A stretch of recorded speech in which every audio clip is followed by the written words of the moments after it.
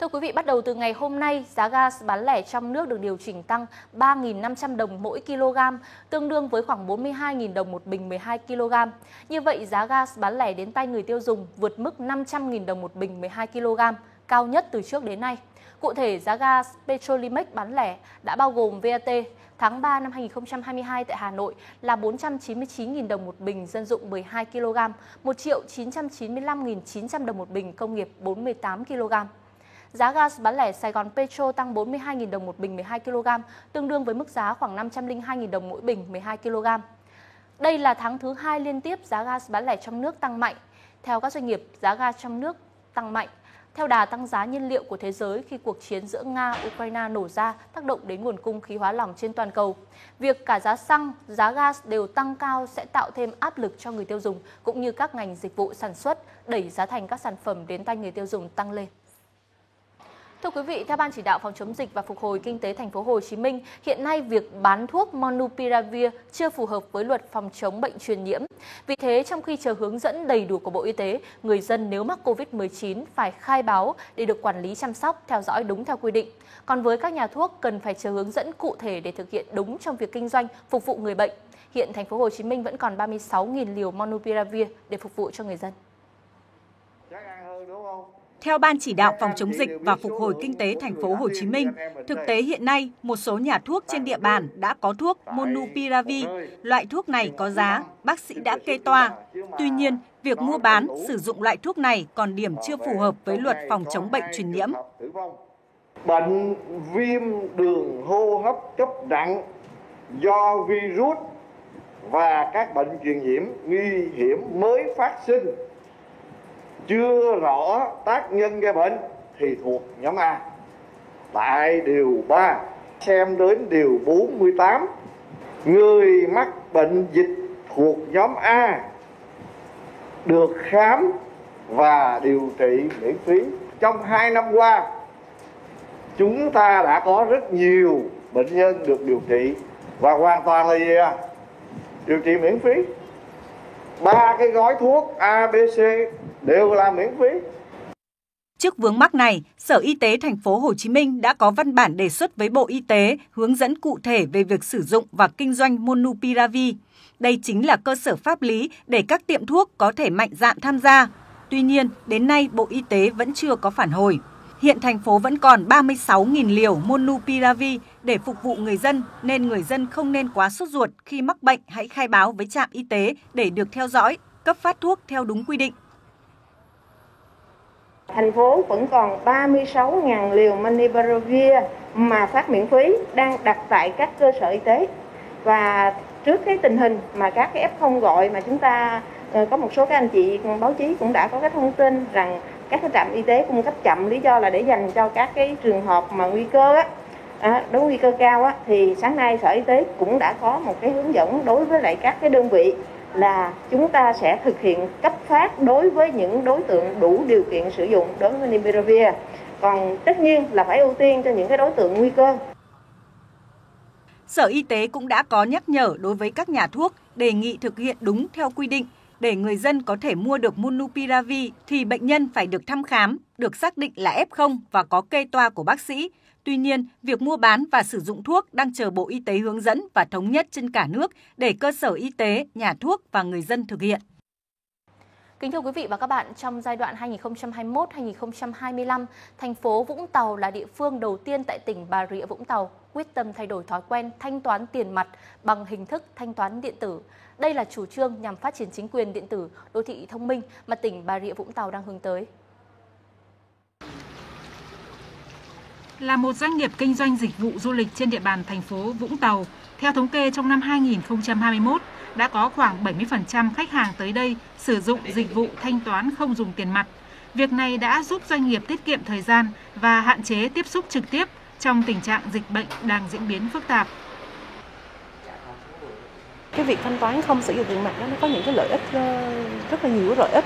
Thứ nhất là ờ, Ờ, tốn không có tốn nhiều thời gian ờ, và ờ, không có tốn nhân lực nữa. Và thứ hai là rất là an toàn minh bạch trong giao dịch. Mà kể cả là à, việc về trong dịch bệnh thì cũng không có tiếp xúc nhiều với tiền mặt. Đó là một cái điều mà doanh nghiệp chúng tôi rất là ủng hộ. Để thực hiện chuyển đổi số, hiện tại nhiều doanh nghiệp, đơn vị trên địa bàn cũng đã có kế hoạch hướng tới thanh toán không dùng tiền mặt thông qua các ứng dụng trên nền tảng công nghệ số. Thì VNPT cũng đã xây dựng ra hai cái ờ, hình thức không dùng tiền mặt, đó là cái ví VNPT Pay và cái mobile money. Thì khi ờ, người dân ờ, thanh toán tiền điện qua, qua ví VNPT Pay thì đang được là hỗ trợ là chiết khấu là giảm giá 20%. Cái thứ hai thì cái mobile money là cái mà dùng cho dành cho người dân là không có tài khoản ngân hàng thì để là thanh toán từ trên cái di động mình nói cái di động truyền thống mình trước đây thì ờ, sẽ là sử dụng bằng cái tin nhắn để mà thanh toán. Hiện nay, nhiều ứng dụng thanh toán cũng đã kết nối đến tất cả ngân hàng, các sở ngành trên địa bàn. Trong thời gian tới, địa phương này sẽ triển khai nhiều biện pháp quyết liệt hơn trong việc thúc đẩy xây dựng và phát triển chính quyền điện tử, đô thị thông minh. Cần phải hoàn thiện và nâng cấp các cái cái hạ tầng mạng giữa hệ thống ngân hàng và các cái cơ quan đơn vị, các sở ngành cũng như là các cái tổ chức để làm sao đó nó tạo điều kiện thuận lợi để đẩy mạnh các cái hoạt động thanh toán. Đối với việc à, thanh toán toàn bộ tất cả các chi phí dịch vụ công thì trong năm 2022 này chúng tôi thực hiện 100%. Tất cả những chi phí giao dịch cần phải có phí thì tất cả người dân đều sử dụng thông qua cái việc ờ, thanh toán trực tuyến hoặc ờ, thanh toán qua thẻ.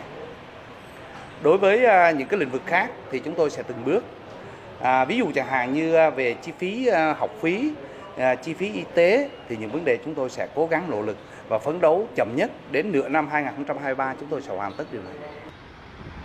Theo thống kê, hiện thành phố Vũng Tàu có hơn 70% dân sử dụng điện thoại thông minh, gần 70% dân số thành phố từ 15 tuổi trở lên có tài khoản ngân hàng. Đây chính là lợi thế lớn trong việc xây dựng, tạo ra các công dân số, thúc đẩy sự phát triển nền kinh tế số của thành phố Vũng Tàu. Thưa quý vị, nhân dịp kỷ niệm 91 năm ngày thành lập Đoàn Thanh niên Cộng sản Hồ Chí Minh ngày 26 tháng 3 năm 1931, ngày 26 tháng 3 năm 2022, chào mừng Đại hội đoàn các cấp tiến tới Đại hội đoàn toàn quốc lần thứ 12. Vào sáng nay tại Hà Nội, Trung ương Đoàn Thanh niên Cộng sản Hồ Chí Minh đã tổ chức lễ khởi động tháng thanh niên năm 2022 với chủ đề Tuổi trẻ sáng tạo. Bốn nhóm hoạt động trọng tâm được xác định triển khai trong tháng thanh niên 2022 gồm tuyên truyền, giáo dục về truyền thống vẻ vang của tuổi trẻ Việt Nam và Đoàn Thanh niên Cộng sản Hồ Chí Minh, tổ chức các hoạt động phát huy tinh thần sáng tạo, tình nguyện vì cộng đồng của thanh niên, tổ chức hoạt động đồng hành với thanh niên khởi nghiệp, lập nghiệp, hội nhập quốc tế, chăm lo, hỗ trợ thanh thiếu nhi, xây dựng đoàn vững mạnh, mở rộng mặt trận đoàn kết, tập hợp thanh niên. Tại lễ khởi động, Trung ương Đoàn Thanh niên Cộng sản Hồ Chí Minh tổ chức triển lãm sáng tạo tri thức trẻ thanh niên với các gian hàng trưng bày các sản phẩm sáng tạo của tuổi trẻ, các sản phẩm khoa học công nghệ do đoàn viên thanh niên tham gia nghiên cứu thực hiện, các sản phẩm ứng dụng chuyển đổi số trong tuyên truyền, giáo dục truyền thống cho thanh thiếu nhi. Ngay sau lễ khởi động, Trung ương đoàn triển khai đồng loạt nhiều hoạt động hưởng ứng như thăm tặng quà mẹ Việt Nam anh hùng, khởi công xây dựng ngôi nhà 100 đồng, nhà nhân ái cho gia đình cựu thanh niên sung phong, gia đình hộ nghèo, khởi công xây dựng nhà khăn quàng đỏ, tặng quà cho học sinh, sinh viên có hoàn cảnh khó khăn. Thưa quý vị, trước khi tiến hành xây dựng cầu Trần Hưng Đạo tại Hà Nội, ba phương án kiến trúc đoạt giải nhất, nhì và ba đã được tuyển chọn tại cuộc thi tuyển của 12 đơn vị tư vấn thiết kế trong và ngoài nước. Các phương án này đã được trưng bày vào sáng nay tại Hà Nội để lấy ý kiến cộng đồng. Phóng viên Khánh Huyền sẽ thông tin về nội dung này ngay sau đây. Sau hơn 2 tháng tổ chức thi tuyển, đơn vị tổ chức phương án kiến trúc cầu Trần Hưng Đạo bắc qua sông Hồng chọn được 3 tác phẩm nổi trội nhất để trình Ủy ban nhân dân thành phố Hà Nội. Công trình nằm khoảng giữa cầu Trương Dương và cầu Vĩnh Tuy. Phía nam cầu kết nối với đường Trần Hưng Đạo tại điểm giáp danh hai quận Hoàn Kiếm và Hai Bà Trưng. Ở phía bắc cầu đi qua bãi sông Hồng, men theo rìa phía tây khu vực sân bay Gia Lâm tới nút giao quy hoạch với đường Nguyễn Văn Linh, quốc lộ 5A. Điểm đầu tại ngã năm Trần Hưng Đạo, Trần Thánh Tông, Lê Thánh Tông điểm cuối nằm điểm giao tại đường Vũ Đức Thuận. Chiều dài tuyến khoảng 5,5 km qua các quận Hoàn Kiếm, Hai Bà Trưng, Long Biên. Công trình vĩnh cửu, quy mô tối thiểu từ 4 đến 6 làn xe, tổng mức đầu tư dự án khoảng 9.000 tỷ đồng.